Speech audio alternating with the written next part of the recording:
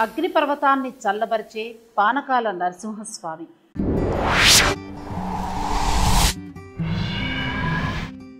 అగ్నిపర్వతం ఉప్పొంగే లావాతో క్షణాల్లో ఊరును వల్లకాడు చేయగల ప్రకృతి ప్రకోపానికి పరాకాష్ట ఈ న్యాచురల్ డేంజర్ దిగ్గజ దేశాలు సైతం భయపడే ఈ విషయాన్ని మన భారతదేశంలో ఎక్కువగా పట్టించుకోరు. ఎందుకంటే మనకిక్కడ యాక్టివ్ వాల్కనోలు లేవు కాబట్టి. కానీ మనకు తెలిసిన అతి ముఖ్య ప్రాంతమైన గుంటూరులో ఒక అగ్ని పర్వతాన్ని శతాబ్దాలుగా చల్లబరుస్తున్నారు ఆది మహావిష్ణువు. భక్తులు ప్రేమతో ఆయనను పానకాల నరసింహ అని పిలుచుకుంటూ ఉంటారు. రండి ఆ క్షేత్ర విశేషమేంటో ఇప్పుడు తెలుసుకుందాం. పానకాల లక్ష్మి నరసింహస్వామి పేరుకు తగ్గట్లుగా ఇక్కడ లీటర్ల కొద్దీ పానకం ఏరులై పారుతుంది ప్రతిరోజు. ఎన్నో ఏడుగా ఒక బిలం ద్వారా భక్తులు ఉదయం లేచింది మొదలు మధ్యాహ్నం ఆఖరి పూజ పూర్తయ్యే వరకు. ఇక్కడ బెల్లం నీటితో స్వామివారికి పానకాన్ని అందిస్తూనే ఉంటారు. ఎటువైపు చూసినా ఏనుగు ఆకారంలో ఉండే ఈ కొండను చూసి ఆశ్చర్యానికి గురవుతారు చాలామంది భక్తులు. కానీ ఈ స్థల పురాణం గురించిన వివరణ విన్నట్లయితే గగురు పొడుస్తాయి మన దేహాలు. ఈ ఆలయంలో నిజానికి ఎలాంటి విగ్రహారాధన జరగదు. భక్తుల సందర్శనార్థం ఇక్కడ ఉంచిన ప్రదేశంలో ఒక బిలానికి ఇత్తడి కవచాలను చేయించి ఆ బిలం ద్వారా బెల్లపు పానకాన్ని స్వామివారికి అందిస్తారు. భక్తులు తమ కోరికలు తీర్చడానికి ఆ లక్ష్మీ నరసింహస్వామివారికి చెల్లించే పానకపు చెల్లింపు ఆచరణలో భాగంగా ఈ ప్రదేశంలో ఏటేటా ఎన్నో రకాల కార్యకలాపాలు అటు ప్రభుత్వ పరంగా ఇటు స్వచ్ఛందంగా ప్రజల పరంగా నిర్వహించబడుతూ ఉంటాయి. బిలం ద్వారా లోపలికి వెళ్ళే పానకం గుడగుడ శబ్దాలు చేస్తూ తన ప్రయాణాన్ని కొనసాగిస్తూ ఉంటుంది.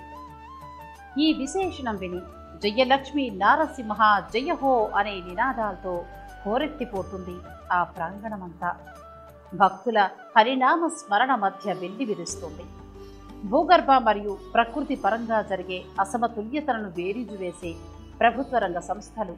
ఎన్నో అసలు ఇక్కడ ఎలాంటి బాహ్య గ్రంథి లేకపోవడం చూసి అసలు ఇది ఎలా సాధ్యపడుతుంది అని లోతైన పరిశోధనలు చేయడం ప్రారంభించిన తరువాత వెలుగులోకి వచ్చాయి కొన్ని ఆసక్తికరమైన విషయాలు.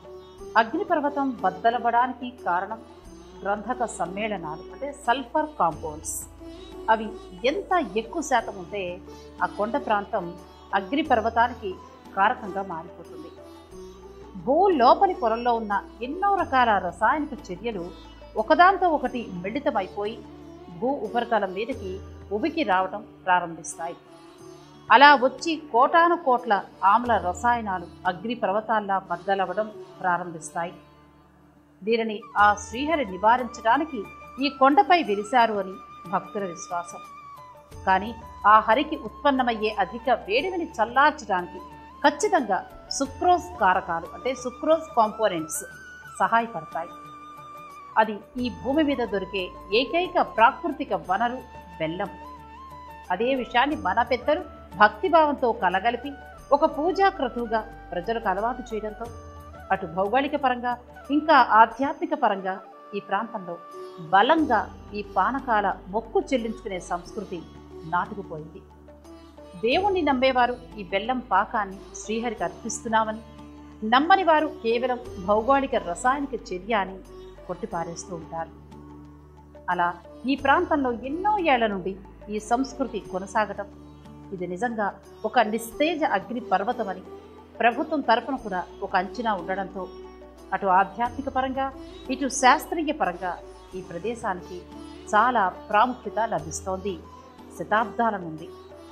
అలా ఆ శ్రీహరి చిద్విలాసం అని కొందరంటుంటే ఇట్స్ ప్యూర్ సైన్స్ అని కొందరంటున్నారు.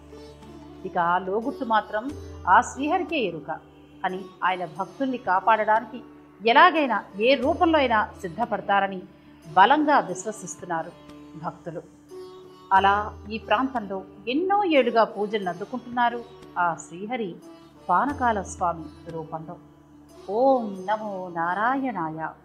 ఇలాంటి మరిన్ని విశేషాల కోసం మా ఛానల్ని సబ్స్క్రైబ్ చేయండి.